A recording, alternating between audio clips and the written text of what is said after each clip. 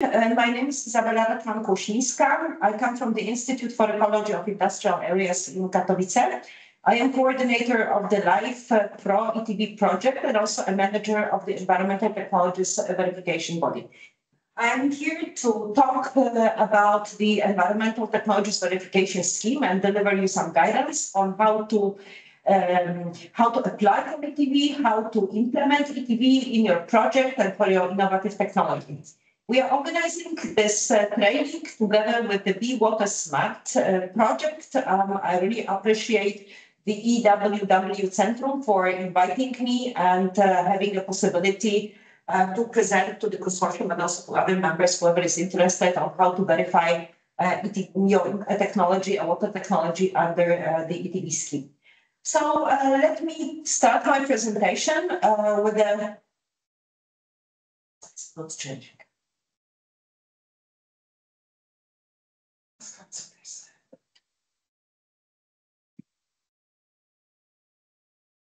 Einmal auf dem Bildschirm gehen. Ja. Das hinterher rausschneiden, versuchen. Ja. Okay, please just continue. Uh, so, uh, where I am from, first of all, um, I am one. I'm managing one of the uh, three um, accredited environmental technology verification bodies. We got our accreditation in 2016. Uh, we are accredited to perform uh, ETV for water technologies, materials, uh, and energy technologies, uh, following the ISO 14034 standard, which is the ETV standard uh, about which you will hear in a moment. So uh, I also wanted you, right from the very beginning, uh, to encourage to take a look on the uh, developments that we have provided under the Pro ETV project. Uh, we have created a brand new source of ETV information, the ETV Hub. Uh, you can see it. Uh, I'll also provide the um, link to this hub later in my presentation. Mm, so how we're going to discuss the ETV today. Um, I think we'll begin with um, some introduction, what the scheme is, uh, how does it work. Then uh, we, can, we can go um, into the details on what are the requirements and the, what is the application process for ETV. Uh, then uh, I would like to maybe have a short break and uh, then continue with the definition of the performance claim, which is the key aspect uh, when you verify a technology. And then I'm going to give you also some hints if you would like to implement an ETV project uh, in, a, in a research, uh, an ETV in a research project. So uh, the way also the whole training is structured, it's kind of a spiral thing. Uh, we'll be probably repeating some stuff with a little bit more deep diving, uh, especially into those areas that I know from my experience, but also other verification bodies are in particular uh, problematic to the uh, ETV applicants. So, uh, not losing the time, let me start our session first. So, first things first, uh, to give you the basic information uh, on uh, ETV. So, we all know when you develop a new technology that even if you have the best idea and the best prototype, um, it is really not sufficient to find the first early adopter. Uh, water sector in particular is risk aversive and um, also operates under restrictive uh, legal regulations. Uh, so um, anything new that is to be bought uh, will require really a very strong proof uh, that it uh, works.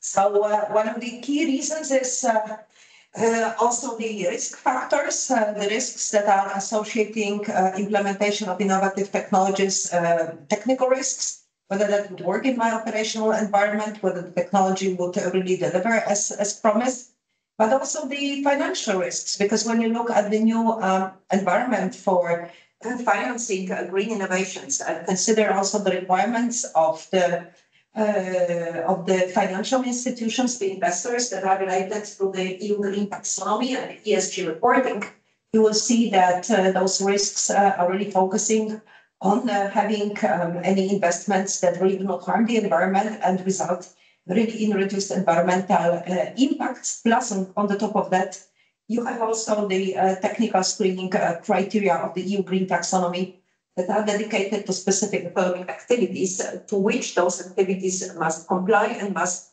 demonstrate it in a credible uh, way.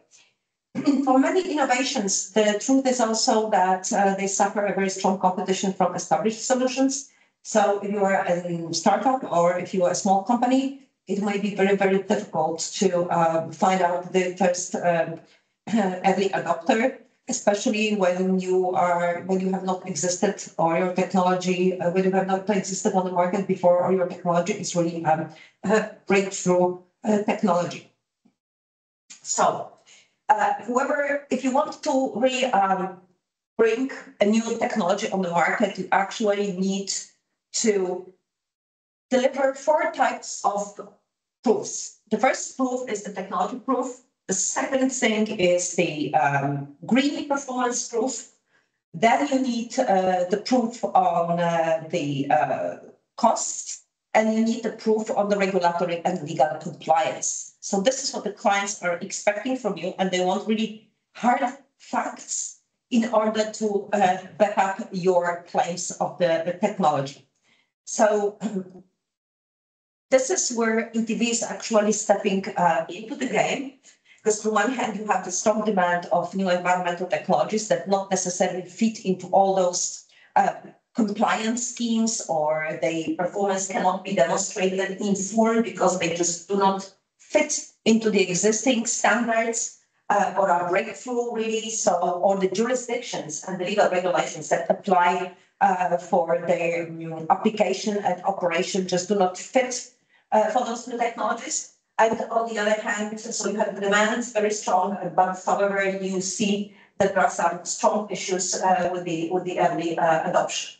So as I said, this is exactly where ETV steps into the game. So uh, what it uh, what it is uh, actually it is an environmental scheme, a voluntary scheme, which is ba- based on a third party confirmation that the claims you made about the performance of your innovative technology true and are based on credible test data that is generated under quality controlled and quality assured conditions.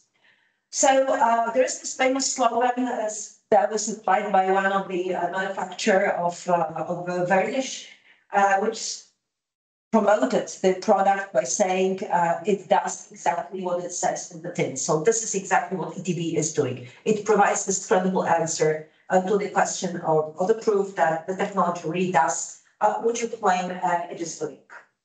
Uh, the purpose for establishing ETV were actually threefold to help technology manufacturers, especially SMEs, but also startups, to uh, um, to, to have a successful market entrance of the technologies and accelerate the uh, market adoption.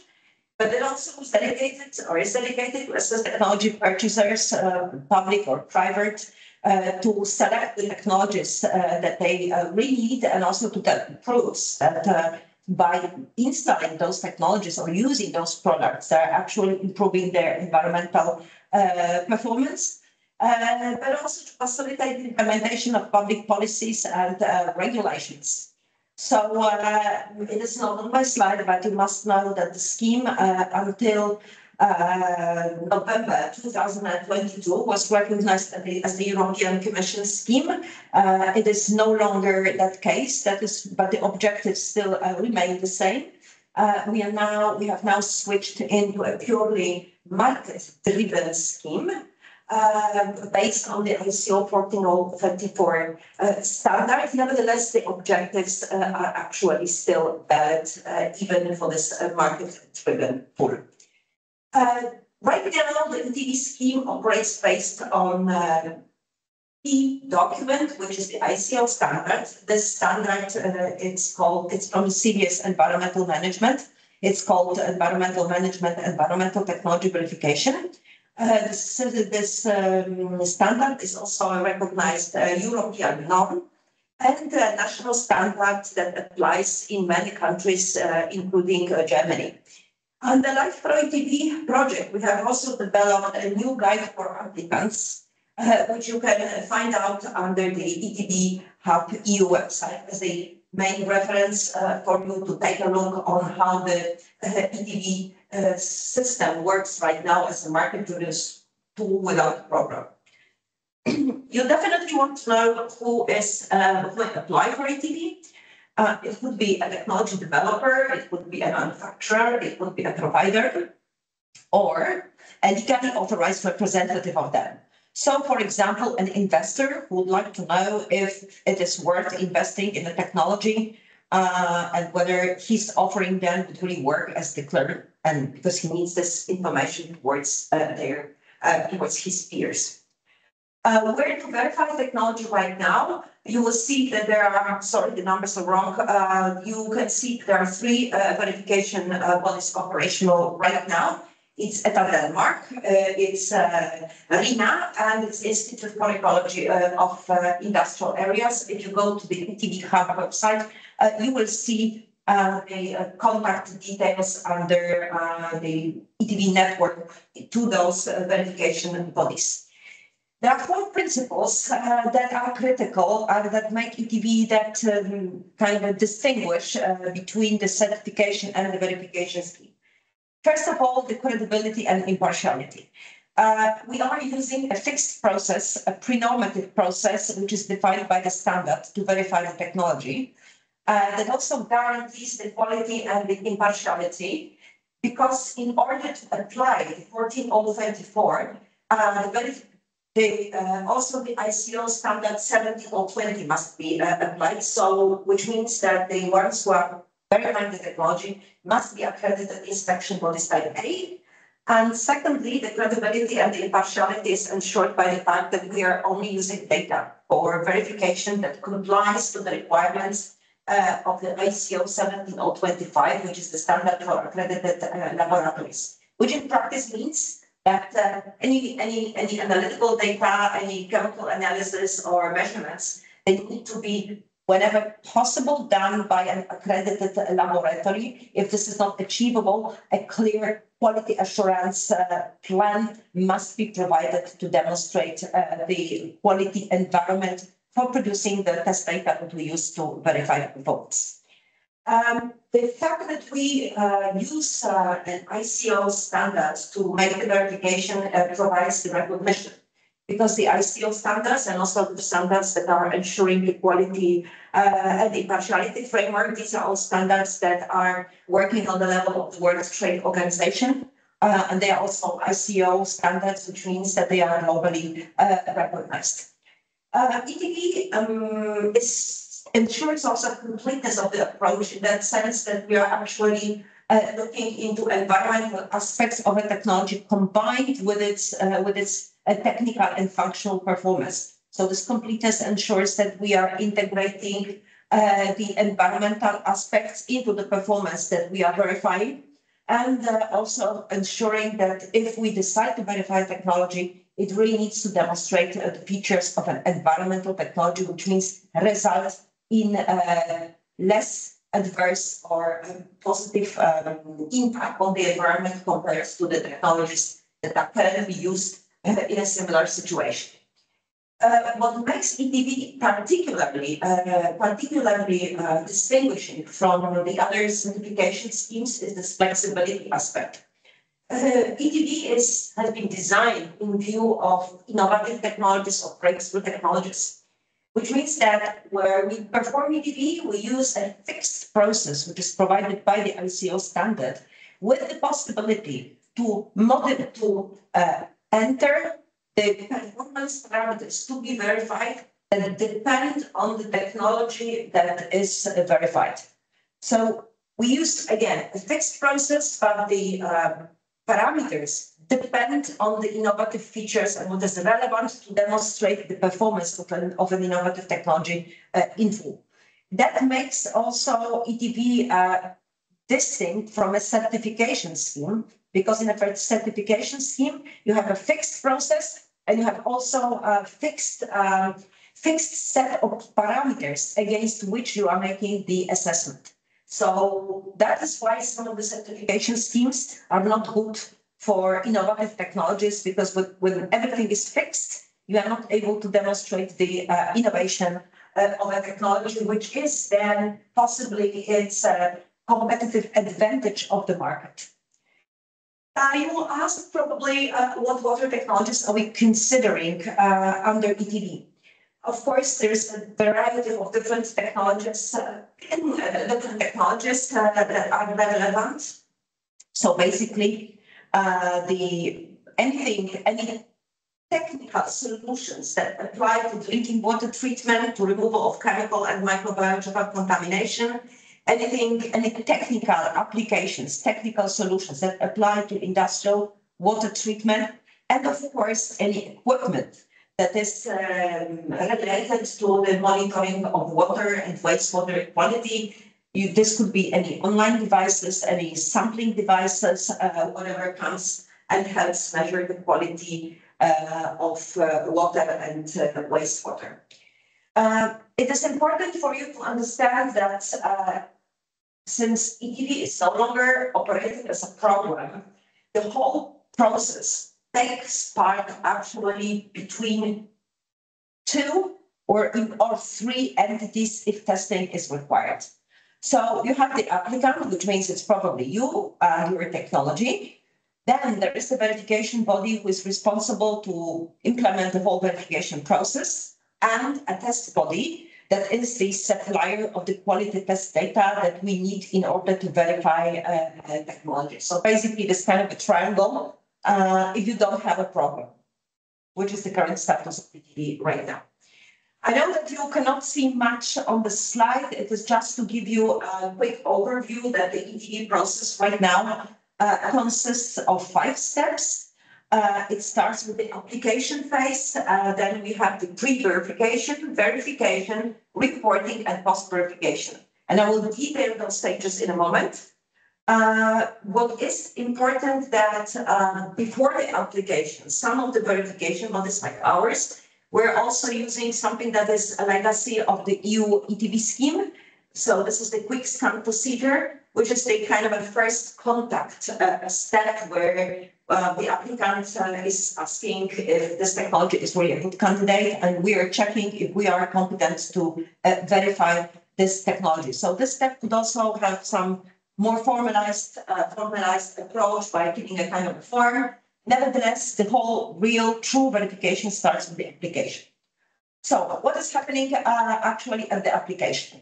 At the application, uh, the verification body typically provides uh, a kind of an application form for the applicant to uh, fill it in.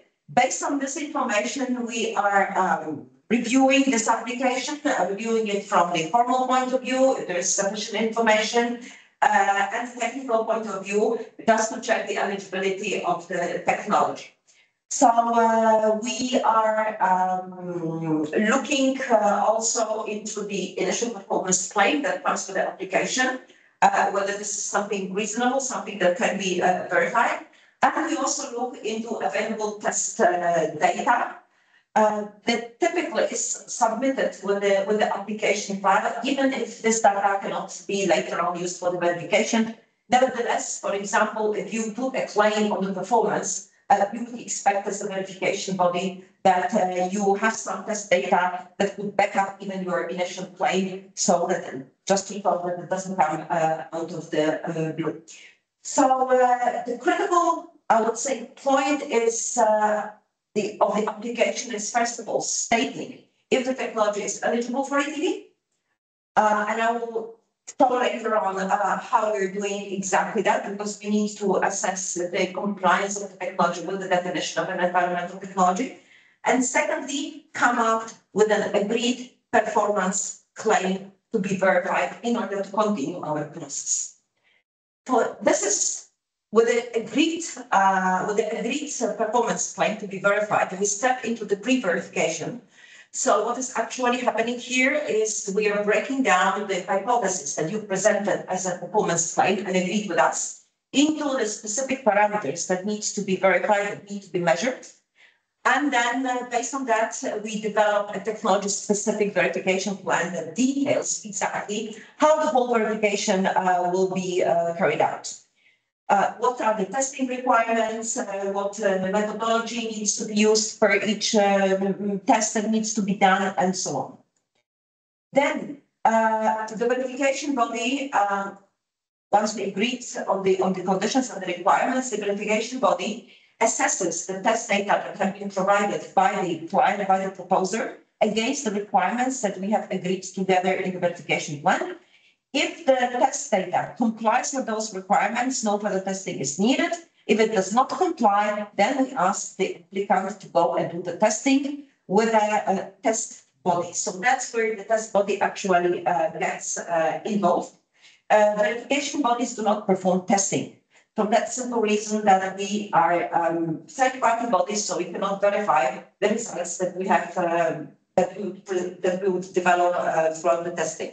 So this must be done by an independent test body. This test body must be approved by us as a competent test body, and then they can do the testing. So uh, once we get the test data, we uh, and we see that this is complete, that this is relevant, that this is sufficient, that it meets the quality requirements we move into the reporting phase, which where we uh, develop a verification report that summarizes all the verification activities. And then uh, um, it also provides a conclusion of the actually achieved performance claim. And uh, if the report is, uh, if, the, if the data that has been achieved are satisfactory for the client, then we issue a statement of verification which summarizes the process, presents the verified performance parameters with the bodies. And then we uh, publish the statement of verification uh, on our website and also on other websites like the ETV Hub to promote the verified uh, technology. And of course, we have the statement and the report to the clients, uh, to the applicant. Uh, Post verification is an important phase because well it involves actually this uh, this publication uh, of the of the report uh, on the on the website yeah so this is this is a snapshot of the verification process um, what I want you to uh, know is that uh, when you come out with a with a with a performance claim at the beginning the end result may differ in terms of values which means that uh, we, the purpose of ETV is not to confirm actually in terms of numbers what you have proposed at the beginning.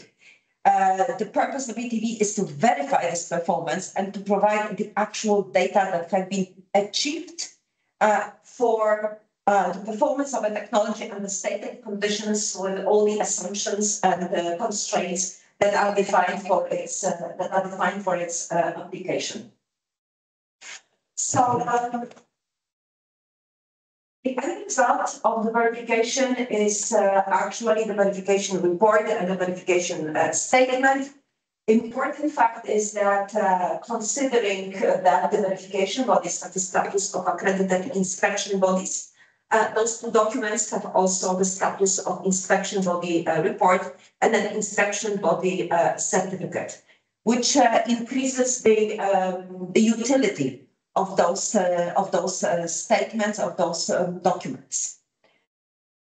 Uh, what you also need to know that uh, right now, since we do not have a program, uh, there is no uh, validity of the statement of verification. It remains valid as long as the conditions under which the that, under which the technology has been verified apply which means that if you, for example, have made any modifications to the technology or the name of the technology changes, uh, or you are implementing a new uh, generation of a technology on the market, the statement will apply only to the generation for which the verification was performed. If you would like to extend the statement into the next generation technology, uh, you will need to contact the verification body, explain the changes in the technology, then the verification body would assess how it affected the verified performance and either request um, reiteration of the, maybe in a limited scope of the verification process, uh, or if these changes, like, I don't know, the change, the, something very simple, like changing the color of the casing or whatever, these are not actually uh, affecting the performance. So um, basic analysis, they may issue uh, directly a new statement of uh, verification. Uh, it's also important to know that ETV requires an in-depth information from the provider uh, about the uh, principles of operation of the technology. Uh, that may uh, refer to some sensitive information. Therefore, the whole ETV process is run under restrictive confidentiality which means that uh, whenever you enter into a contractual arrangement with the verification body, the confidentiality uh, is of course um, included uh, in the in the in the process and in the contract. Um, ETV is not oper- it's operating based on a dialogue, which means uh, the verification body gets involved, but also the applicant gets involved. Uh, we are in a continuous dialogue. We are agreeing each step of the process. Uh, and uh, so that we are sure that we are following uh, something that is feasible from the ETV point of view, uh, but also something which is in line of the client uh, of, of the client needs. Uh, what ETV is not, it's definitely not a certification scheme, and I've already explained this difference. It's not a pass or fail scheme, which means that we are the end result, we always get an end result of a verification, which means we always get the numbers, the verified uh, values of the performance parameters. When you look into some compliance scheme where this is a pass or fail uh, scheme, you will get the answer, yes, the technology complies, no, the technology does not comply, you don't get a certificate. With us, you always get the result. Uh, ETV is not aimed to substitute also any testing which is required in order to bring the technology on the market.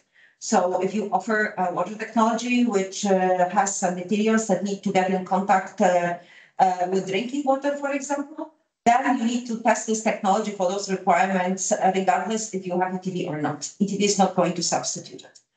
So uh, what we are also not dealing with uh, in ETV, it's we are not checking and not verifying the manufacturing or controlling the manufacturing process like it happens in many certification schemes that apply to products. For example, under ISO 17065, where besides checking the properties of the product, we are also checking the manufacturing process. ETV is only dealing with uh, the technical, with checking the technical design of a technology as actually uh, delivering the technical performance, the environmental performance, which is promised by the uh, manufacturer or by the technology developer. Uh, the benefits, I will refer to the benefits also at the end. So uh, you remember that at the beginning of my presentation, I told you that you need those four proofs uh, to demonstrate the technology, the new technology to the first adopters. So uh, with the verified performance, uh, you get the data that you need to provide to your client and technology proof. With the assurance that the technology is an environmental technology and with the verified performance uh, parameters that focus on the environmental performance of the technology, you get uh, the proof to demonstrate that your technology is actually green uh, and uh, without greenwashing, because that's one of the keywords. Um, and that is uh, what uh, the clients also want to get any credible proofs on. You also get um, um, data to demonstrate and ensure the early adopter that the technology work, will work in their operational environment. Because when we verify technology, we define under which conditions this performance is achievable, for which materials, for which matrix, you will hear about it later on. Uh, you also get hard data in order to justify the uh, OPEX uh, for your clients, uh, because in many cases, environmental technologies seem more expensive in terms of investment. But then we also need to demonstrate how the savings uh, will be achieved uh, once you implement the technology. And this is the this is when you convince in your first slide. So you've got the price data because if you if you propose a performance claim that includes uh, those savings or is focused on those gains and savings and reduce environmental impacts. Uh, the numbers uh, will then uh, talk to your uh, clients as well.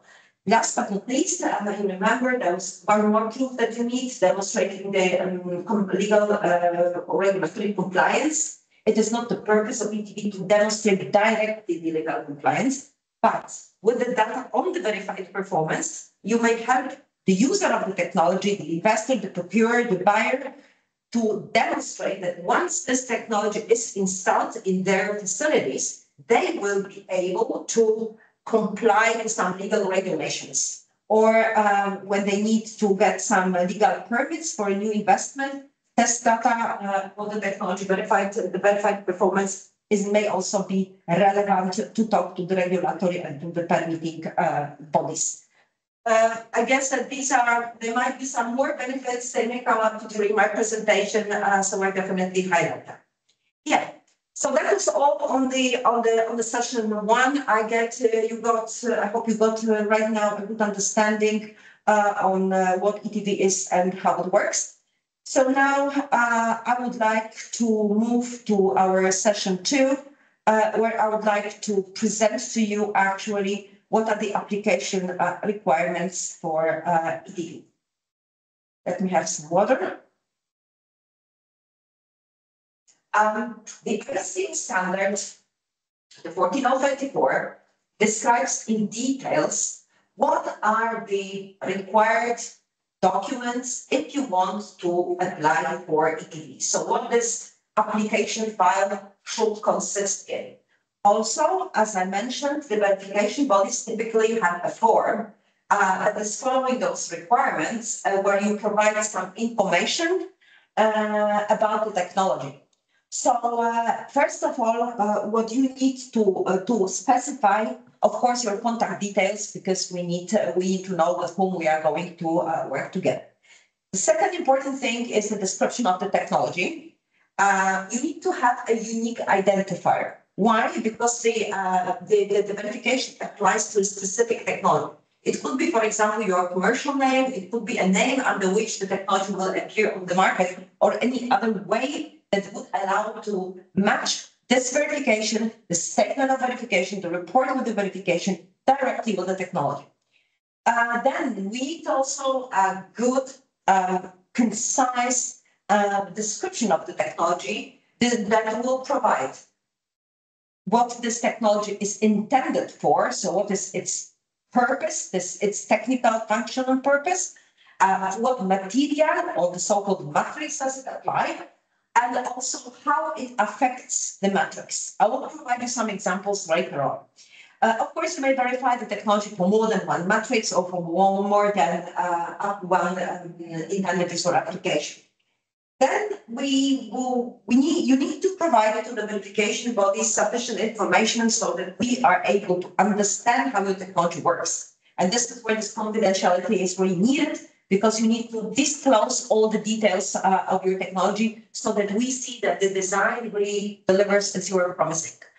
Uh, then we also need to define if your technology is uh, at a sufficient development status. I will refer to it uh, later on. Basically, we're talking here about TRL 7. Nevertheless, um, we need to be more specific on this. What does it mean that this is ready to enter the market? Uh, of course, if your technology is already on the market, then uh, this issue is, uh, is easily covered. Um, we also require that you provide information about the standing of your technology versus the other alternatives uh, that are existing on the market, so on your competitors. And the purpose here is to be able to highlight uh, where your technology performs better compared to those to those um, established technologies or which problem of the users of those established technologies your technology is actually uh, helping to solve. So basically to highlight the benefits, uh, this, this, this distinguished um, and competitive features of your technology, but you must know uh, also what is the current standing of the of the technologies that are the relevant alternatives. Uh, the key issue that I have mentioned at the beginning of the presentation uh, as an eligibility criterion is the question if uh, your technology is green, green technology. And for that, we have a procedure that I will explain later on. Nevertheless, uh, you must have some information provided in, uh, in the application file that refers to the major differences concerning positive and negative environmental impacts and aspects of your technology compared to uh, the relevant alternatives, so the existing solutions on the market. Um, and the best would be to have this information available, even if uh, in qualitative terms only for the different uh, life cycle stages of your technology. I want just to say here that we are not performing LCA under ETV, but we need to uh, understand where those uh, differences. Uh, next, of course, you need to provide a performance claim that you would like to, uh, to, to be verified. And again, it has to be quite specific. You need to provide a parameter and a value. Uh, then you attach also all the test data you have so that we can see whether it's the test data is backing uh, the maturity level of your technology, this performance claim, and so on. Any other things that are required is we also need to, you also need to uh, have an understanding which relevant legal regulations and standards apply to your technology, either in the EU market if you want to sell it in Europe, or if you want to be more specific on the target market. Uh, why this is required? Because in some of those standards and some of those regulations that apply to different technology, there might be some issues that are relevant to the definition of the performance claim and the testing requirements. But we, of course, uh, in this dialogue process, we hope to establish uh, which, which, which standards or which legal regulations uh, are we talking about. Uh, yeah, we also wants to be sure that your technology at a minimum uh, complies to the legal regulations or regulatory requirements that apply to it. So for example, if a CE mark is needed for your technology or any kind of a statement that refers, as I said, to the uh, contact with, uh, with uh, drinking water, we will not check it. We require a declaration from, and it's in the contract, from the uh, applicant that this technology is uh, demonstrating compliance or is likely to demonstrate compliance. You take it on your shoulders. We're not checking that. Um, there might be some other additional information that is needed. Of course, uh, if you have uh, any kind, uh, if your technology is a part of a bigger system, we need to know how it works in this larger system. So we will need to provide also the installation and operational requirements and conditions. Uh, the service and maintenance requirements, why this is relevant?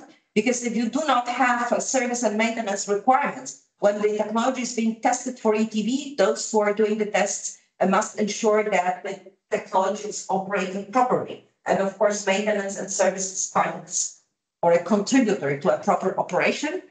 Uh, also, some environmental aspects may be related to the maintenance uh, uh, requirements. For example, if we talk about uh, some membranes and you need to make uh, the back flushing, uh, you use some chemicals for that. And if you don't know how to handle those chemicals, you are generating actually an environmental problem. Uh, and uh, if we consider if the technology is environmental or not environmental, we also look into the waste generation aspects. So uh, that is why we also review and uh, demand that you, you have those service and maintenance requirements defined. Uh, so possibly having uh, a service and maintenance and operational environment. Uh, yeah, there may be also some health and safety requirements uh, that are related. This is basically um, uh, also needed if you if this technology is to be um, visited by us, so that we know uh, that there are no harms uh, to, to, to to the inspectors uh, that could arise from the operation of this technology while we make, for instance, a site visit, or the laboratory is doing the testing. Um, we have under the ETV designed uh, a specific tool that allows you to check if you are ready to apply for ETV. This is the self-assessment tool. It is accessible or available uh, from the ETV hub. There is a section called Get Started, and there uh, the self-assessment tool it is 25 questions divided into, I guess, five or seven, seven sections that comply corresponds to the formal and technical requirements uh, of the ETV application process. What, the, what this tool is actually giving you, it's uh, once you go through uh, some sec- part of the section or the whole tool, uh, the tool is uh, providing you a feedback report where you get um, depending on what information you have or uh, what you know or you don't know about technology, it gives you a feedback report what you should do or why certain documents uh, are needed and how to acquire them. So I think it's a valuable tool. Uh, I'm encouraging you, if you are considering ETV, to take a look at it because it really explains also a lot why certain things are needed and what for, and at which stage of the verification uh, process they will be needed. Yeah, so uh, let me first start. So this is this is the agenda for this uh, for this uh, session. Let's go quickly through it uh, and start with a question: Which technologies can be verified or are eligible for ETV? Of course, I have already discussed the issue that we need to be sure that your technology is really an environmental technology. So what does it mean in the meaning of the ISO standard that your technology is an environmental technology? It has to deliver the so-called environmental added value, which means uh, less uh, negative or a positive environmental impact uh, compared to uh, relevant alternatives or technologies or solutions used right now uh, on the market. So it could be anything like removing, preventing, reducing, mitigating pollutants that are released to environment, restoring some resources or being more efficient in terms of energy consumption. Uh, so yeah, so the, the environmental value typically may apply, for example, to water treatment technologies or some new materials like bio-based uh, technologies. This could be also a technology that is solving an environmental problem that has not been solved before. So it would be quite difficult to find a relative alternative in terms of a technology. You would need to refer it then to the way the problem is being handled or not handled today. And then uh, all, as I said, the monitoring equipment, uh, which is also helping to better measure the parameters that indicate environmental impacts compared to current solutions. Uh, of course, um, and uh, measuring equipment may also have environmental added value in that sense that you could imagine a piece of an equipment that uh, where the conventional technology is using a single-use materials, whereas this innovative measurement equipment is an online equipment and it's not using any plastic or whatever, uh, because the technology simply does not need it. Uh, which water technologies? So, uh, as I said, uh, going more into details. Uh, anything that uh, for the for the treatment of drinking water, you can have different um, different technical solutions for filtration, for chemical disinfection, for advanced oxidation, for desalination, for example, of seawater. Uh, you may also have uh, any separation techniques, anything that goes to the biological treatment, uh, electrochemical methods, uh, small scale treatment systems. And these systems could be not only for treat wastewater, but also for the recycling of water and recovery of materials. Uh, so basically, you can say uh, to recover the value of water it's not only it's not only uh, something that is conventionally or typically considered as a, as a treatment technology, but also this recovery and recycling aspect should be uh, highlighted here, especially that we are all suffering um, we are all suffering um, water shortage in Europe. So the topic would be quite important. It could be also some simple devices like uh, something that is related to stormwater treatment technologies like any kind of a filters, anything that uh, is relevant to handle with the absence of water in an effective way. Yeah, I guess uh, you have now a clear, uh, yeah, a, a, clear understanding what type of technologies uh, could be verified. I guess I was already clear with the measurement, um, with the measurement technologies. So uh, let me uh, move to the uh, next slides. Okay, now a little bit more on the eligibility criteria. Uh, when you go into the standards, you will see that there are three key uh, eligibility criteria that uh, apply. So the technology must demonstrate the compliance to the definition of environmental technology. It must be uh, available uh, at the market readiness, sufficient market readiness uh, level. and it must comply in line with the legal regulations. So these are the key three requirements. Um, well, you will see that I still have on the slide a reference to the EU ETV program. Um, well, the scope of accreditation, the current scope of accreditation um, bodies complies still to those uh, technology areas that were uh, valid for the EU ETV program. So the idea is here that uh, if you, the eligibility also depends if you have a verification body that's accredited to verify your technology. So if this is accredited for a specific technology area. So the eligible technology must fill into this accreditation areas of, uh, of uh, the um, uh, ETV bodies. So uh, this is what you need to demonstrate in order to be uh, eligible.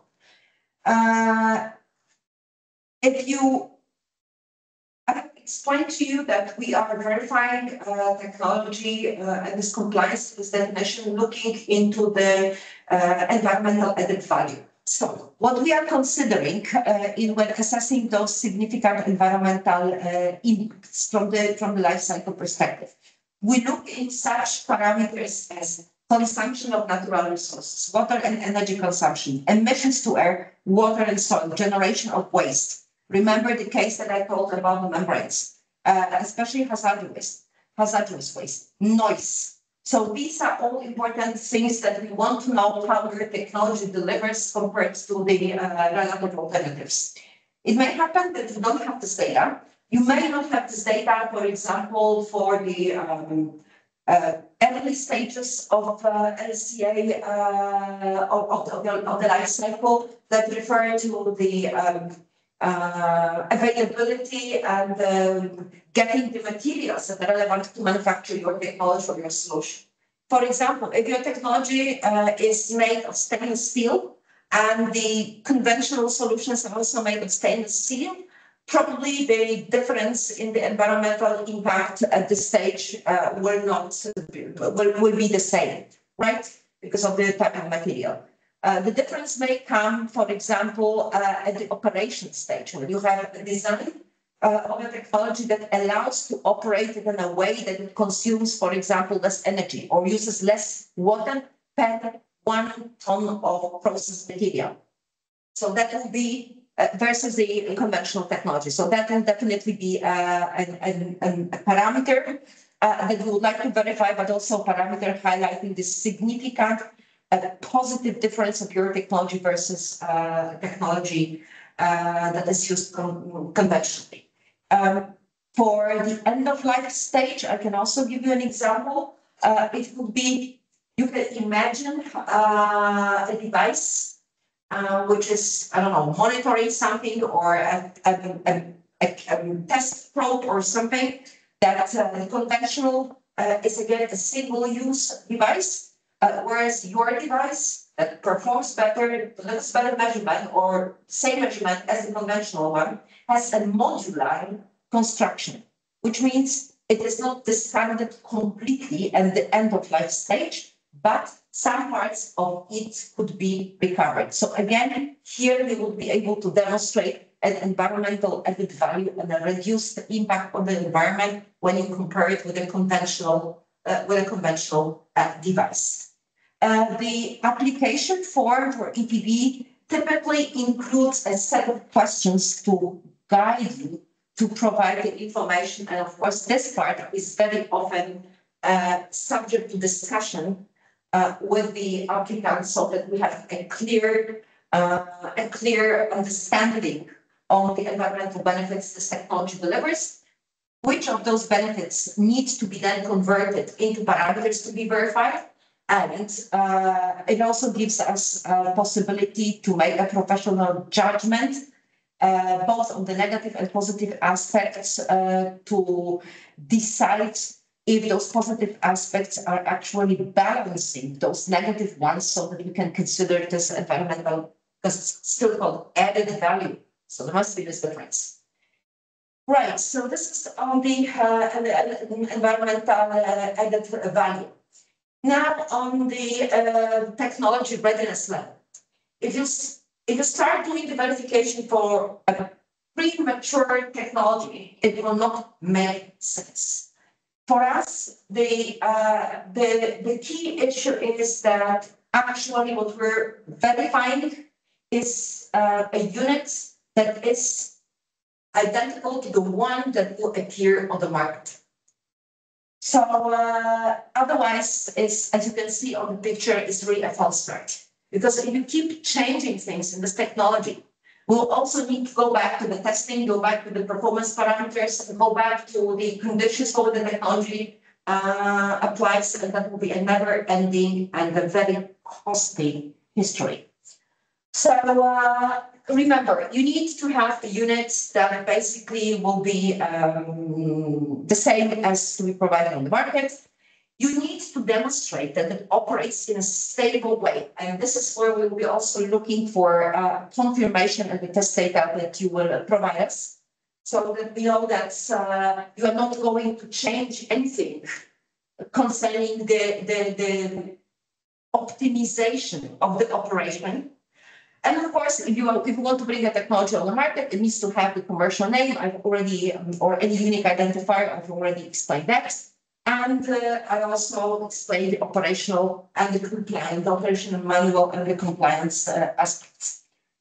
Then, depending, what do we understand that the technology is already on the market? Uh, it means that the technology and all its components like all the apparatus, all the processes, all the products are full scale and commercially available. Then you can call this actually, you know, ready to enter the market. And uh, this is what typically uh, will be used uh, when you have um, a demonstration project of a, or a demonstration of a commercial unit. So the ETV process will apply to this unit. If you have a technology which is a final prototype design, so you can call it a pilot installation, uh, which is prior to its manufacturing or supply of the commercial unit. So it still includes some parts that are unique and not commercially available. Uh, then we will clearly state it also into the verification that it has been, uh, the verification has been performed uh, for the uh, pilot only with this and this uh, design. And of course, uh, if you are piloting an installation, we'll also look into the uh, scale-up factors just to be sure that uh, if this technology is upscaled, it will deliver in a similar way as you're promising. So it would be good uh, for the application to have also information on how the upscaling uh, will affect the performance we're verifying and what are the factors that may affect uh, the performance when uh, upscaled. Uh, of course, we are talking about innovative technology, so we need to be sure how, and you need to know how to demonstrate the innovation. Innovation in ETV is not about when the technology is provided on the market, two years, three years, or not yet now. It's, it's, it's not what we mean by innovation for environmental technologies. The innovation is strictly related to the environmental uh, effect of the technology and typically results from the way it is designed, the type of materials, the raw materials, the energy, uh, the energy involved, the secondary materials it uses, the substitution process it may uh, involve, uh, the, the way it is operated uh, or used, and uh, the recyclability or final disposal compared again to the processes that are currently in place with technologies that are being currently used. So just be sure that you understand where your innovation steps from. Uh, the innovation, you can also um, reflect the innovation by saying how better your technology refers to the uh, needs of your client. So what specific problem it solves and uh, um, it may be also the aspect what kind of new opportunities it is creating. Because you can imagine a new technology that can uh, handle in an innovative way or convert into um, an asset, uh, waste material. Then it's no longer, of course, it is it is um, it is uh, probably uh, a treatment technology. Nevertheless, the purpose is of it is to convert waste into assets and in that sense creating a new business opportunity. So this is this is actually this, uh, the way also of demonstrating the um, innovation and uh, fulfilling the expectations of the uh, interested parties.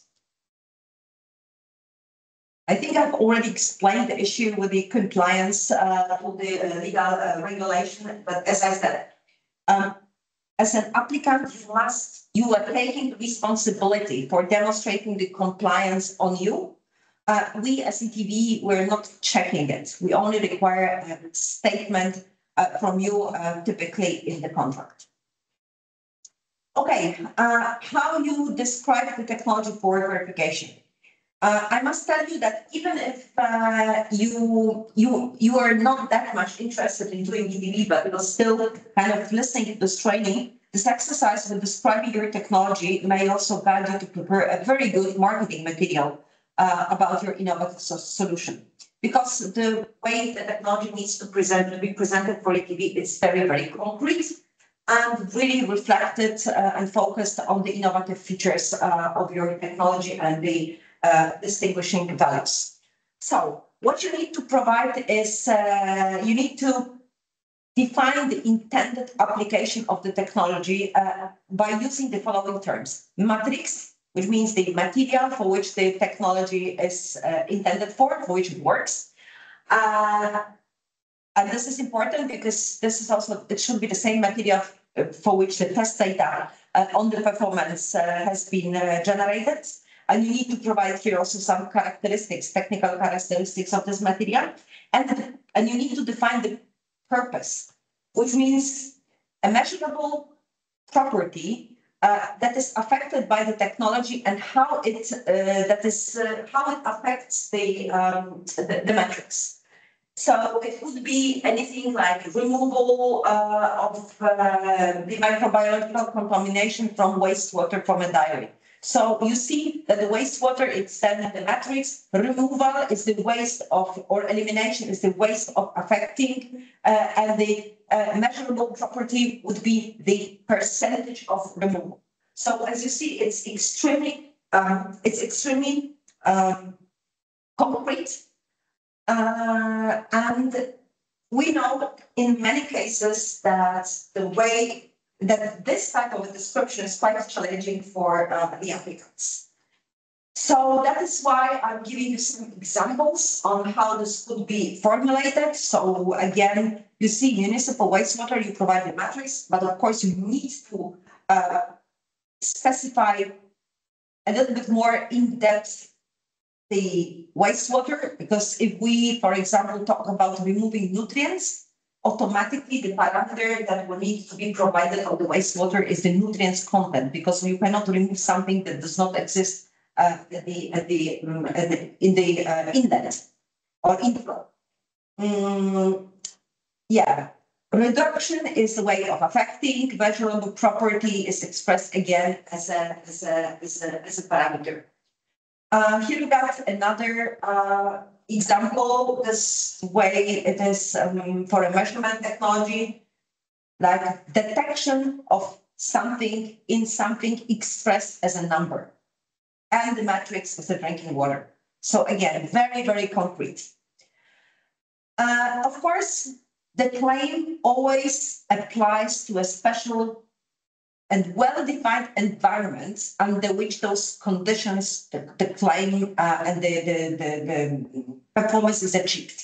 So what you need to define is you need to define, define the operational conditions. This is also relevant in that sense that those operational conditions are also transferred and, uh, and become the testing conditions for the technology. And then they go into the statement of verification where they present to the clients uh, information based on which uh, the, the user of the technology is able to define if this technology will fit into his operational environment.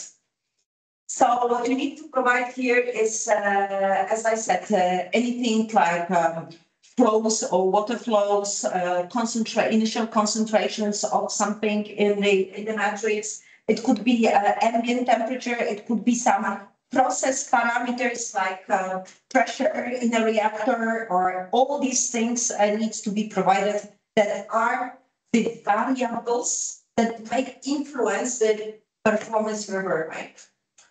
Uh, we of course need some blueprints and diagrams. Typically, we request a diagram of a technology. It could be an AutoCAD or whatever. but we need to see the, the, the, the, the, the blueprint just to understand how this technology uh, works. If this is a part of a larger system, we also need uh, to get an understanding how it works in this larger system. Uh, it sometimes, for example, happened that uh, we got a description of the environmental added value. And uh, when we read the drawings, we see that this is a technology that requires water because it, needs steam. And this is somehow, this aspect is, for example, not reflected as a, as an aspect, environmental aspect or resource need or water need at the uh, operation base when we assess the environmental added value right? So by analyzing all those documents, it also gives us a good understanding and maybe identification of some other environmental aspects that we need to consider uh, for the assessment of the environmental uh, added value. Uh, yeah, demonstrating the uh, innovation. Um, I think these questions um, on the design, on the way of the use of materials, uh, the way the technologies operate. I have already covered them when explaining this, um, when explaining this um, uh, innovation aspect. Nevertheless, you can always come back to it and take a look uh, how you can refer to your technology as innovative one uh, when you will be making the uh, description. Uh, yeah, some examples. Um, this is uh, for design, the innovation in a way, uh, a new um, measurement equipment is uh, designed. So the focus on a more precise or a more faster uh, measurement uh, at an extended range of different pollutants. So it's the flexibility of use.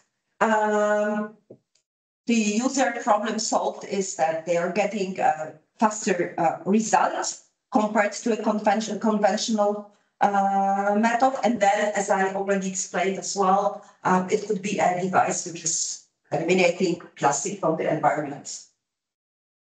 Uh, for an innovative treatment technology, uh, the for an ozonation technology could also reside from the way it is designed um, there is a problem of the user that the oxygen very often is does not have an equal distribution in the ozonation columns. So the technology could be designed in such a way that it ensures an equal distribution and this way uh, eliminates the production of cancerogenic ozonation byproducts.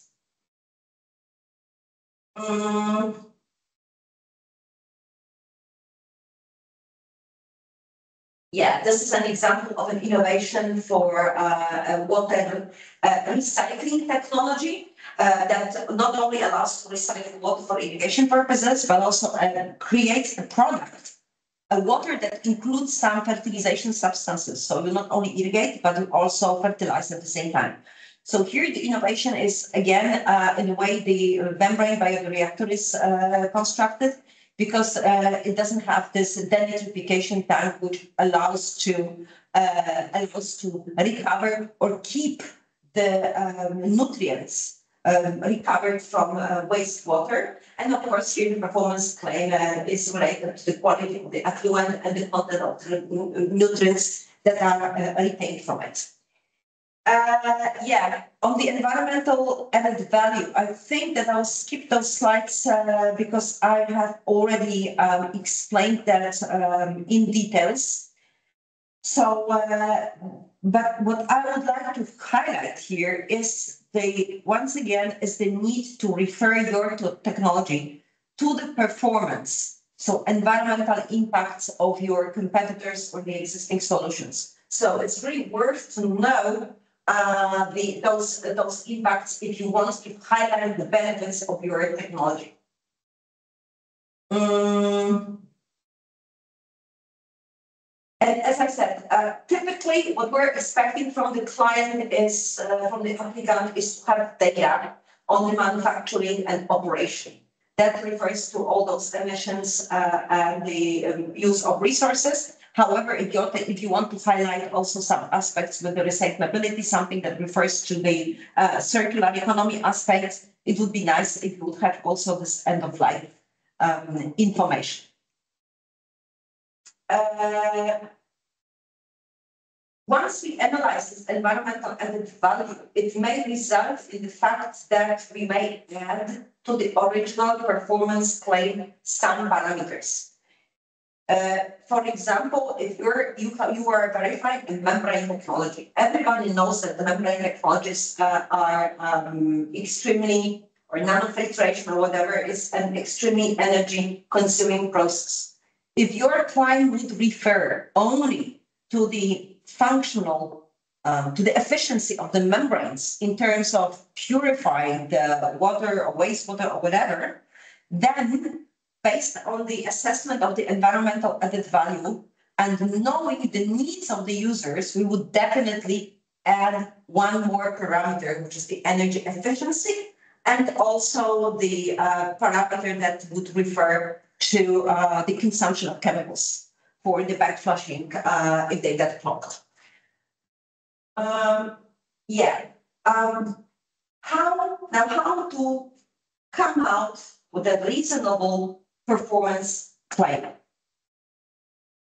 Uh, what is a performance claim? First of all, it is a short statement that includes a set of technical specifications that must be quantitatively uh, reflected uh, with numbers that are verifiable through testing and that are representative to the innovative features and the environmental benefits of the technology. Uh, the purpose of ETV is not to verify full performance of a technology, because this will be an extremely challenging process and there are typically other schemes that you must use uh, for that. What we're doing under ETV is to focus the performance claim on the on the snapshot of the technology performance that is most relevant to demonstrate how better it performs or its superior performs or its innovative performs versus the uh, established technologies or uh, competitive technologies um, on the market. And to that, as I have already said, you need also to specify the conditions uh, of testing uh, and, uh, and, and use. So basically, the claim is that this technology intended for this and this purpose, here you see the technology description, with this and this characteristics, performs under these and those conditions like that. So this is your performance claim. Um, I told you already that ETV is performed in a dialogue. And I told you already that uh, with the application, you come with a proposal of the claim that then may get modified uh, through when it comes to the step, step two pre uh, verification, where we actually need to uh, convert the original performance claim into some uh, into some performance parameters to be to be verified. So this is uh, this is what what is actually happening uh, with the claim. I'll maybe skip this uh, this slide, but I wanted to highlight to you that the way the claim is defined is actually affecting the test design for the technology. Because remember, as I said, uh, when we arrive to the pre uh, verification stage. When we define the verification plan, the verification plan is based on the agreed performance parameters uh, to be uh, verified. So, uh, of course, since we talk about innovation, uh, the performance claim should be somehow ambitious. So it has, but it also has to be realistic. And that is why I said that it must be based on some previous experiments, some previous testing that you have done. It doesn't make sense that you would claim a 99% removal of something if there is not, if this is not covered in any test that you have done before.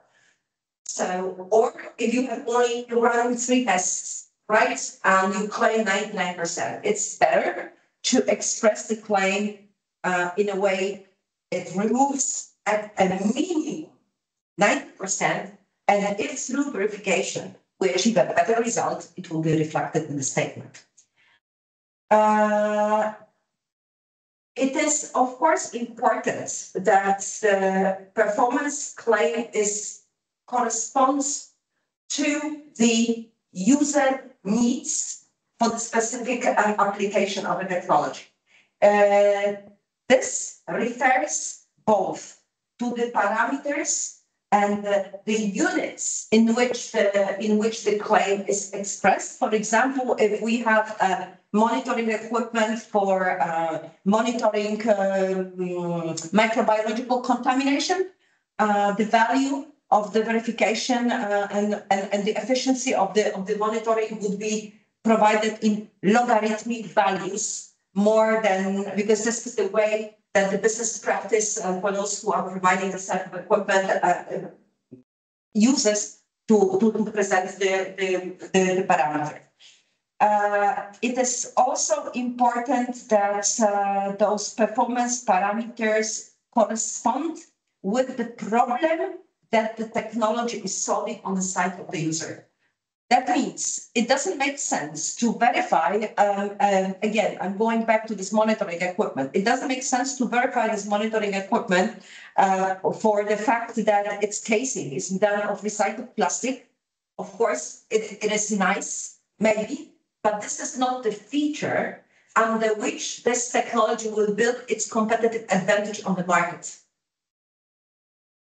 So uh, it's, it's more the performance of the measurement itself. So it does make sense to verify this technology for, for let's say, uh, recycled plastic content in the casing of, of, of this equipment, because this is not market relevant information uh, for this technology. It could be added, but it's, it, it's definitely not uh, subject for verification. Um, here you can see an example uh, of um, removal efficiency, so an expression of a performance um, parameter to be to be verified.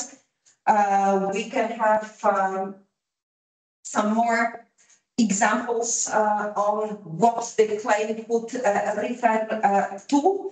Mm, for the measurement technologies, uh, there's there is also a whole list of uh, parameters that are characteristic, for example, for monitoring equipment, like the limit of detection, the range of application, the precision, uh, robustness, accuracy, specificity, linearity. So this is, for example, if you would like to validate your technology versus an established uh, monitoring technology. So you probably need to look into all those five uh, parameters. But again, these are just examples. There might be other things. If you are a provider of an innovative technology, uh, you know best uh, what applies uh, to, uh, to your solution.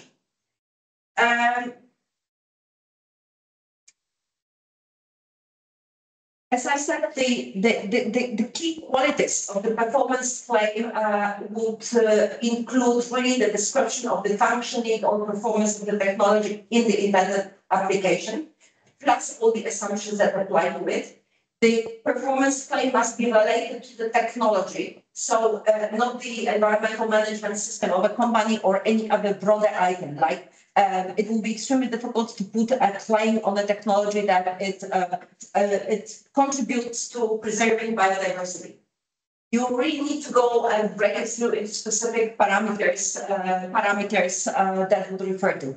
Also claiming that this technology is preventing water um, water uh, doesn't make sense because it's too generic. You really need to go uh, back to the specific feature of a technology that is eliminating this problem.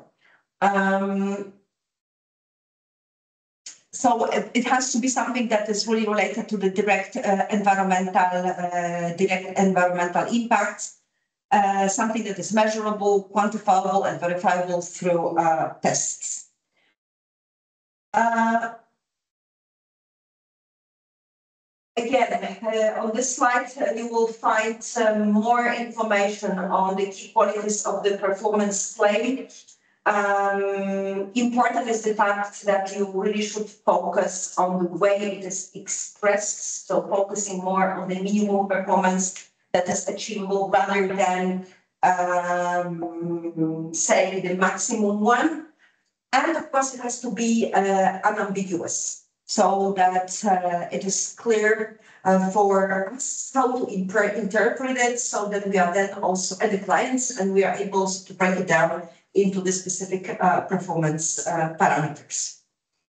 Um, what is important also that when you claim a value for a specific performance parameters, it cannot be below uh, what is the minimum requirement uh, of the legal regulations right now. So if there is a threshold and uh, a legal regulation that says that at a minimum this technology must meet this and this value, uh, we cannot verify a technology that goes below this value. I mean, below in negative sense, or is not meeting this this this this legal requirement. That is why I said it is quite relevant uh, that you know the legal regulations that apply to the technology uh, on the market of its uh, application. Um, some examples of the performance claim. Uh, so that was uh, water um, treatment uh, plant um, that has been used to treat water or rather an effluent that comes in Scandinavia, especially in Scandinavian countries uh, where you need to de-ice uh, planes uh, on the field.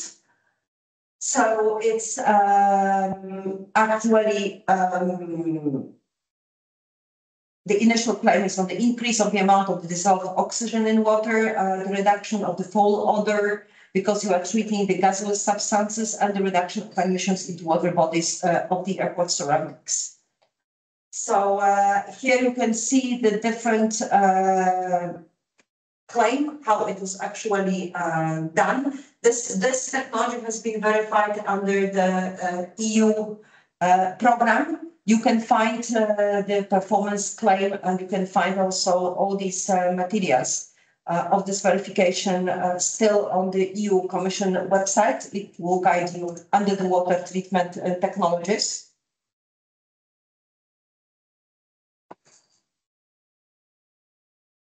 Uh, here you can also see uh, how precisely the um, intended application has been uh, has been uh, presented. Uh, and you also see that the performance claim and the intended application uh, includes um, exactly the conditions for which this technology applies. As I said, it's important because it also defines the conditions for uh, the conditions for um, the testing of the technology. So here you see the claim. The claim, uh, as it has been uh, eventually uh, eventually uh, designed with all the numbers and all the values. Um, so this is the way we are expecting to work with you at the definition of the performance claim, just to get this type of performance claim. These are the examples of the um, operational parameters for this technology that have been defined.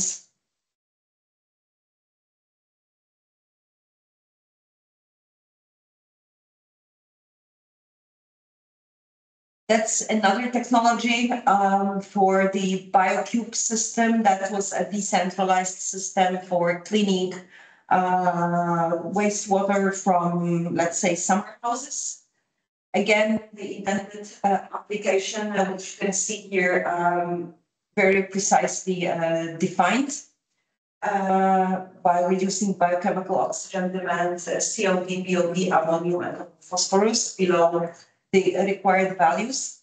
Uh, what I wanted, however, to highlight here is that um, when you do ETV, you got a value per each verified parameter. And we under ETV, we're not judging if this value is uh, relevant for uh, a given for a given um, regulatory requirement or not. Of course, we check at the beginning if the technology does not perform below that. But once in, we got um, information that it actually performs better than the limit, we only provide the values. And that is important because the jurisdictions across the different countries and the requirements may vary. So uh, we are leaving it up to the market actors to see if these values are actually working for them. Uh, here you can see um, how the claim and the uh, conditions for the claim were defined, the outlet requirements. This is the Danish technology. That is why, um, and, and dedicated verification is also dedicated to Danish market. So that is why you see that those values are um, really referring to the Danish values. Uh, and uh, there is also a claim that is relevant for the users concerning the energy consumption or rather uh, reduced energy consumption. Maybe I skip this one. Mm. I wanted to highlight some aspects that are quite relevant uh, for you to know and that are also reflected in the self-assessment tool, uh, what you really need to know about your technology. First of all, uh, one of the requirements is the intellectual property rights. So you need to be the sole owner of the technology. If you are not, you need to have an agreement with your partners who would say that I give you a mandate to apply for ETV you need to have this unique identifier. So you need to name your technology properly so that it is recognized together with a statement. Mm, you need this clear understanding of the intended application of the technology, the purpose, and all these things that we have dis discussed uh, concerning the description. You need to understand well the needs of your users uh, and of your clients, the regulatory aspects of your technology, and also understand and be able to present what is the innovation of your technology, where does it come from, and how it translates into the performance and into the uh, environmental benefits. It will be also beneficial to understand your competitors and why they are your competitors. So what these technologies are doing and what your technology is doing. Uh, yeah, the performance parameters that demonstrate the innovation, have an understanding of the claim, market relevant claim, uh, and how this claim refers to the needs of your uh, clients, and a good also understanding of the positive and negative aspects uh, of your technology. And last but not least, consider also what other certification schemes apply to your technology, because it may turn out to have a discussion if ETV is a relevant scheme for you.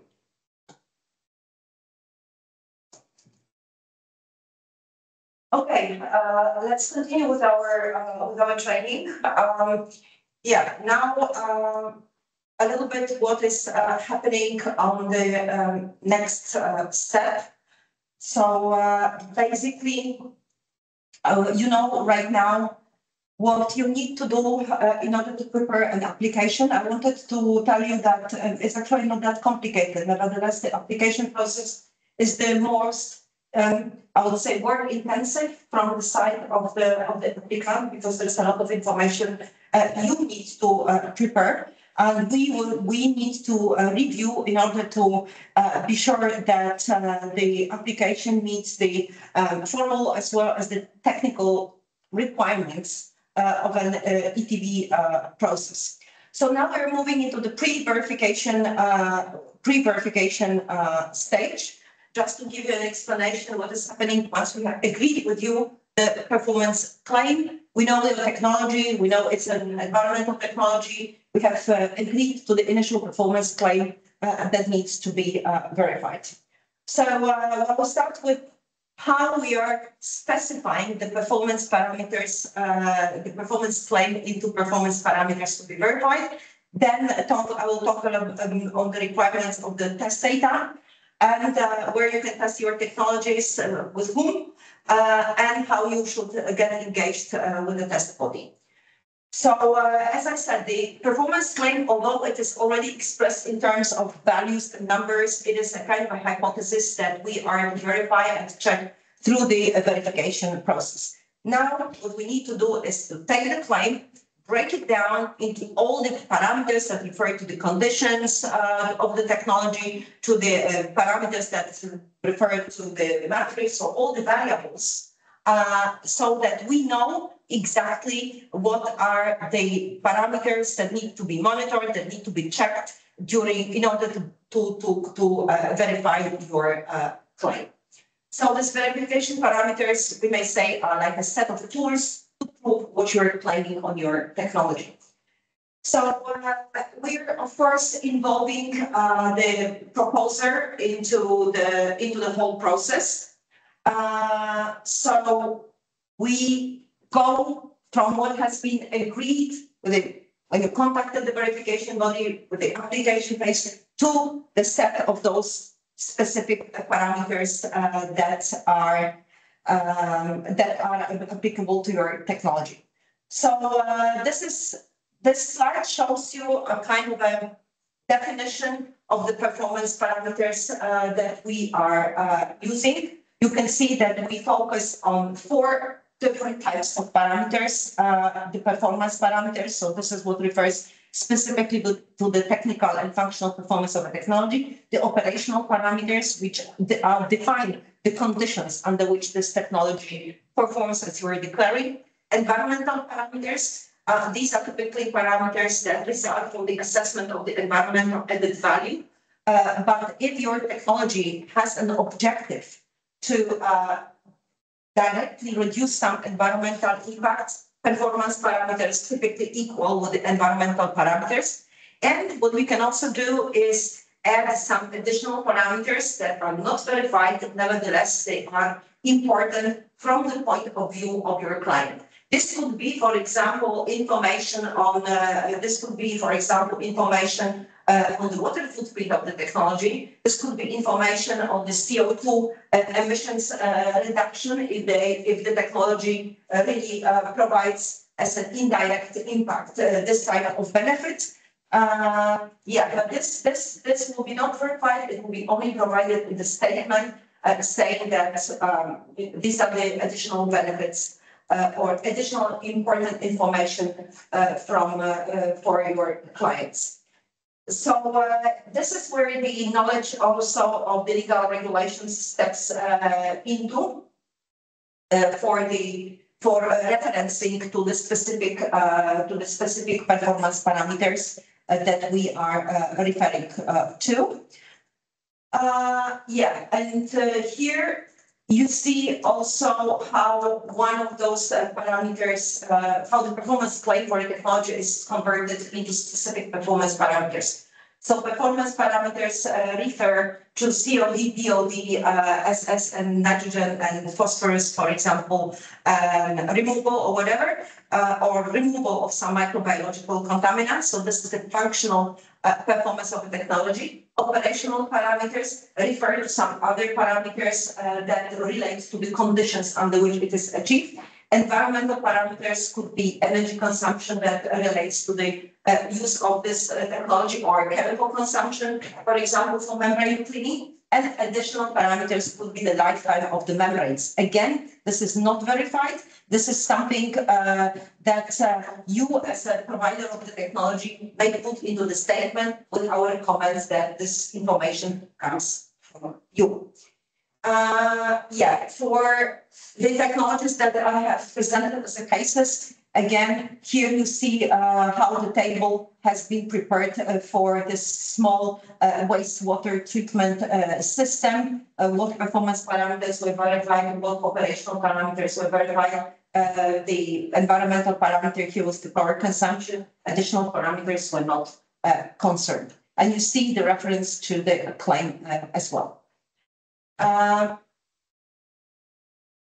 this is a similar case uh, when it goes to the uh, de-icing uh, water treatment uh, technology. Again, you see very concrete parameters that refer to it. and the conditions under uh, which those performance parameters are uh, achieved. And this is uh, the table filled in for the de-icing uh, effluent uh, treatment. So you see very specific, uh, very specific um, numbers for each parameter. You also have the uh, reference uh, best available techniques values or any other regulatory requirements uh, values specified. Plus, since you have a reference document that defines how those, what are the limit values and how the um, how the performance parameters are referred to in, in the reference documents, you also get information what test method is to be used in order to verify this particular uh, parameter that results again from the uh, legal uh, regulations. Uh, yeah, that's a little bit uh, more on it. Um, you can also find uh, examples, different examples on the definition of the specification of uh, performance parameters in the uh, guide for applicants that we have developed for technologies, uh, um, other technologies. So there's also a case on water uh, technologies, but also uh, a claim on the technology for recycling of uh, artificial turfs for stadiums, for example, um, and monitoring technology, which is used for uh, monitoring the quality of the biomass. Uh, and I'm strongly encouraging you to take a look at those uh, examples uh, as well. Um, I'll probably skip this uh, slide.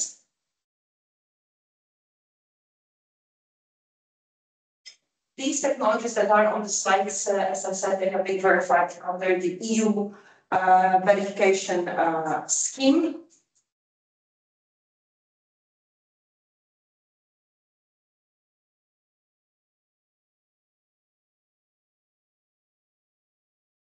Uh, now on the requirements for uh, the test data. Uh, the test data is crucial to verify the performance, but it must be quality. Uh, it must be quality test data. It has to be generated under conditions or as we call it, by a test system that complies to the requirements of ISO 17025. In practice, it means that uh, we are uh, recommending that you do the testing uh, with an accredited uh, laboratory. Uh, and I also wanted to highlight that when you look at the price for the whole verification process, actually the testing component is the uh, most um, expensive one. Uh, the testing also has to be done compliant to the requirements of the market.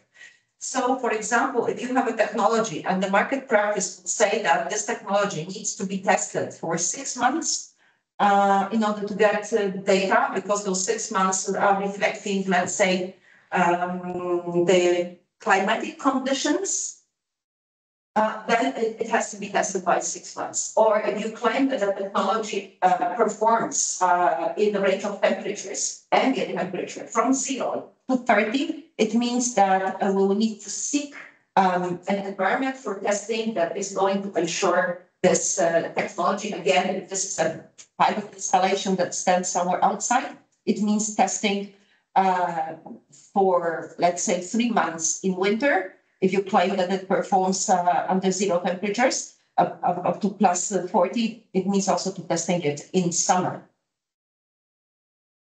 Uh, if you um, the scale of the tests, what, what we also need to define is this the scale of the tests, uh, uh, the, the conditions for the uh, testing, and all this has to be addressed in a very detailed test plan. This test plan is developed by the test body that performs the testing. Nevertheless, it, this test plan has to be um, has to be uh, approved by us as a as a verifier. That is important in that sense that when you close the contract with the test body to do the testing, this contract must also include this requirement that uh, we are, as a verification body, engaged in checking this test data, in contacting the test body, and uh, and and um, agreeing and providing some comments to the test plan. The test plan has a specific structure. Uh, this is the structure that comes from us, that is given to you, so that you provided them to the test body uh, and ensure that the test plan, uh, it's like a very detailed testing protocol, uh, is specifying which test, test methods are to be used, what kind of equipment, if this equipment is supervised under ISO 17025, if the people who are doing the sampling are the people who have who have demonstrated competence to do so and so on. So it's uh, if uh, we we use this um, a detailed test plan templates that includes also uh, information for the test body how to refer to the specific points in this test plan. Uh, when the testing is performed, it is summarized into a test report. This test report also has a template. And uh, well, uh, the test report, of course, uh, comes then uh, to us. What we also do, and what we also require is that uh, since we need to check how the testing has been done and uh, how the data has been generated, we may request also access from the test body to raw data in order to uh, confirm uh, or be able to trace back how the test data process that arrives to certain, so certain results uh, has been uh, carried out and whether it has been carried out compliant to the test plan. Uh, of course, when the testing of the technology has to be carried out uh, in conditions that apply to and to in in a specific application that applies to your claim. So if your claim uh, refers to uh, a specific uh, metrics like wastewater that has some specific parameters that could be, I don't know, um, electric conductivity or whatever, uh, these conditions have to be followed uh, during the testing because if they are not followed, then the samples are not valid. Uh, so that's that's that's quite important, and of course, it all needs to be uh, considered uh, in the and, and detailed in the test plan. How I have told you that when you apply for ETV, you typically bring a file of test data with you. Uh, at the verification stage, uh, what we do uh, is we actually assess it um, against the assess those test data against the requirements that are specified in the uh, verification plan. Nevertheless, we start analyzing this data right from the very beginning of the process, just to be sure that whether and give you also a feedback whether this test data can be used for verification at all, or whether it could be used only for indicative purposes uh, and you need to uh, perform uh, further further testing. So this is an uh, example uh, when uh, it's called specific verification protocol, but specific verification protocol is the same as the as the test um, plan. So here you got an example on how we are assessing the test data and how we are assessing uh, the um, specifying uh, what should be verified and, and how with which values uh, and uh, with which um, with which um, test measurement methods. And this is an example of a test design that is part of the verification plan based on which the test body then develops uh, the test plan. Um, what we also do to ensure the quality of the system is uh, we perform the so-called uh, test system audit. What does it mean? If you bring to us a test of, of a set of test data, and this data looks like uh, having the possibility to be used for verification because it complies with our requirements, or after the testing that you have performed because it was needed because you didn't have the test data, we uh, go and check the system that produced this test data to make its final acceptance. Uh, in practice, it means talking to the test data, uh, checking their procedures, looking into the risks and key points that may affect the quality of the test data, which also means in practice that we have to go and visit the test lab where the testing has been uh, performed and uh, open the test plan check, make some uh, sample checks uh, just to see if the testing has been done uh, in a correct way to give a final uh, green um, light uh, for acceptance of the testing to confirm your performance. Where are you going to do the testing? Uh, as I said, uh, if the testing involves physical, chemical, microbiological analysis, any types of measurements, uh, it has to be done under accreditation. Uh, with the use of standardized test methods, if there are some other measurements, there could be some other test bodies that are accredited uh, under other standards than ISO 17025 to perform uh, to perform this type uh, of testing. Nevertheless, we will always require that a quality assurance uh, plan, either demonstrated through the accreditation, uh, is behind the process that uh, produced the test data. I have already informed you that we do not, as a verification body, we do not perform the testing. We do not close any contracts, direct contracts for testing with the test body. It's because of the impartiality rule. It is the responsibility of the proposer to find the right test body, come to us. Uh, we approve it. We have a dedicated form uh, to check the competences of the of this laboratory. Uh, and uh, again, the, proposer closes the contract with the, with the test body, ensuring that we are also engaged in that sense that we uh, approve the test plan, approve the test report, and also perform the test system uh, audit. Uh, the test body is responsible for developing the test plan, uh, for performing the testing and uh, submitting the test report. Important thing is that many accredited laboratories use different templates for uh, developing the test plans and test reports because uh, it is um, related to their uh, accreditation and the documentation that is under the accreditation. So if this is the case, then what we request is that the test body produces a test plan and a test report on their template and our required test plan becomes an attachment uh, to this uh, to this uh, to this document. Um, once we state that we have enough data, the data has been uh, produced in a process that complies with our requirements, we have a good test report, then we can move to the step of verification and actually confirming uh, or um, concluding on the actually uh, on the actually uh, achieved performance of the technology, and that's actually end, uh, ends up the whole uh, verification process uh, because we then develop a verification report and a verification statement that reflects those values achieved for the testing. The whole process may seem quite complicated to you because I provided a lot of explanation. In reality, as I said, the key point, the most difficult point is the good application and the specification of the performance parameters to be verified. Then the rest goes to the test body to do the testing. And then you as an applicant gives us test report and we then uh, analyze the test report and uh, conclude on the verification.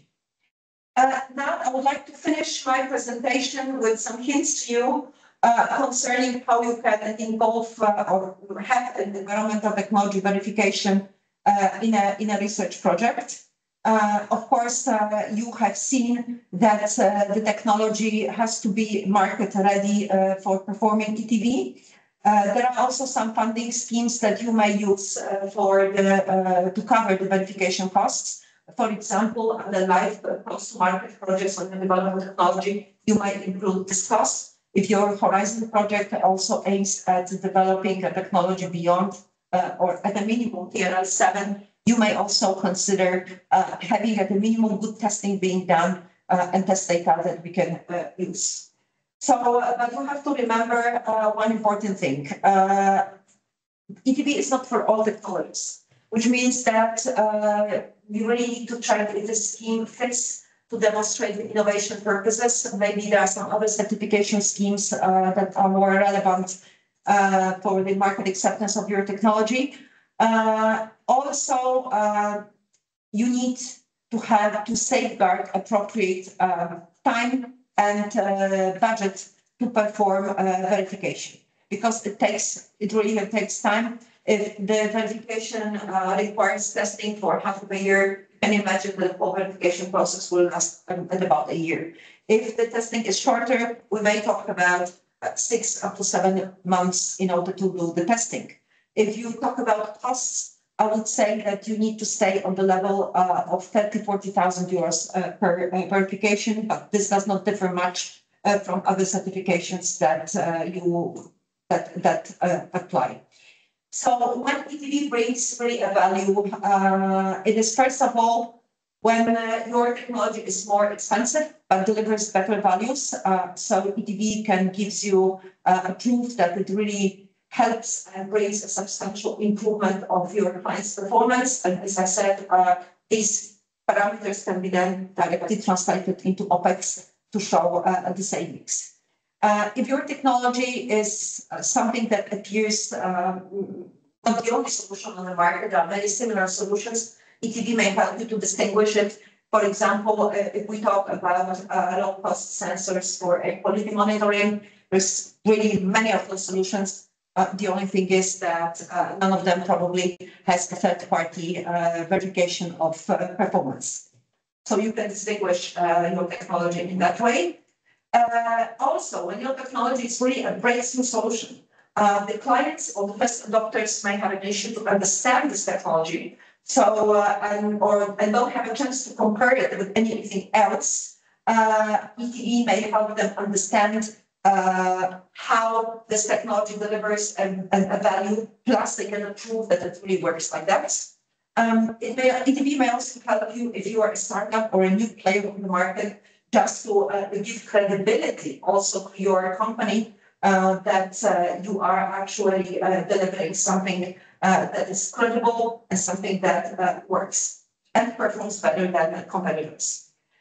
Um, then, if your it also brings a value when your technology really performs better than and but this improvement, this innovation cannot be reflected by any, any other uh, schemes that currently exist, or when your technology applies to uh, or has some features that are not covered by existing uh, certification uh, schemes, uh, or would require combining several certification schemes uh, to demonstrate the performance. I have already told you that it is quite important to find the right timing uh, for the verification. If you start the whole process too early and the technology is not really commercially ready, so you don't have the information on the maintenance, you don't have um, the stability on performance, it doesn't make sense uh, to verify it. On the other hand, if you invested in the technology, you would like to start studying it as quickly as possible. But you need to find the right balance and, uh, you know, uh, find the right time so that you avoid the market failure because you will just not get the, the data or the technology is actually not performing as we're considering uh, during the testing for uh, uh, and of course, with this premature uh, application for ETV, uh, there are some uh, risks. Uh, for example, during the process, uh, you would see that still some optimization in the processes is needed or some variables uh, pop up that are actually affecting the performance. And it, that happens uh, during the testing uh, for ETV. Then, uh, of course, the, all the tests will need to be um, redone, and that's time and that's money. also, the test results may be not the ones that we're expecting. So the performance may not actually be the one that you are thinking about. Uh, but ETV gives you an opportunity to stop the process at any time when you see that this technology is really not delivering, not, not delivering as you are um, expecting. Uh, yeah, as I said, minimum 12 months for verification uh, should be considered. Uh, if the technology has a simple um, claim, it could be shorter. I would say uh, something around uh, six to seven months. Nevertheless, these are the time frames I would live uh, as for verification. And now about the applicability of ETV into the different projects. If you are below TRL six uh, and you consider ETV in the future, I think it will be quite good to start testing and you know um, testing and um, thinking about the claim and looking also into the different technologies uh, that are around you to identify what are the unique features and focus the tests on those unique features so that you are able to understand the innovation and how your technology actually performs. If you consider TRL 7, I think uh, it's very important that you, again, you have a clear vision on the performance claim uh, you know with what kind of performance parameters are relevant uh, to, to, to back up the claim. You collect data on the variables that may affect the, the uh, affect the uh, performance. You think about the other documents uh, like the test manual, uh, the sorry, the operational manual. you think about environmental impacts. you try to do any kind of a testing with a clear test plan that already follows um, ETV requirements. Because then uh, this test data is of value and it's uh, really much easier than to define the claim. And it also shortens the time for the future generation of a, a test design and a test plan uh, if you really decide to go for ETV. If your project assumes uh, going higher for the technology than TRL 7, then you already put, for example, uh, engaged with a verification body so uh, that, and of course, have a clear vision of your, uh, of your performance claim and already uh, set up the testing in such a way that you get the data, quality data that can be directly accepted as, as a set of existing data uh, to uh, be considered uh, under under uh, under uh, verification, so that you do not need to do the testing under under verification. But of course, it will require that the that the test plan is somehow approved. You know the again the variables. You know what to measure exactly. So the operational parameters. You are using accredited test methods and possibly get engaged with an accredited laboratory to uh, get the test uh, results uh, for you.